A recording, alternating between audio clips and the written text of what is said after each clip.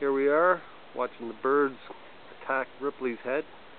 He's got seeds on his head, so they're having a nice meal. They're not eating his brains.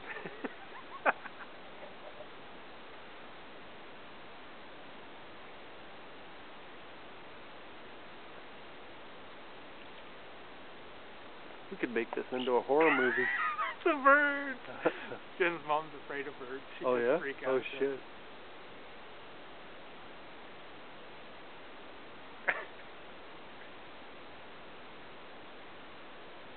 I feel so wild on the head. Oh, I bet.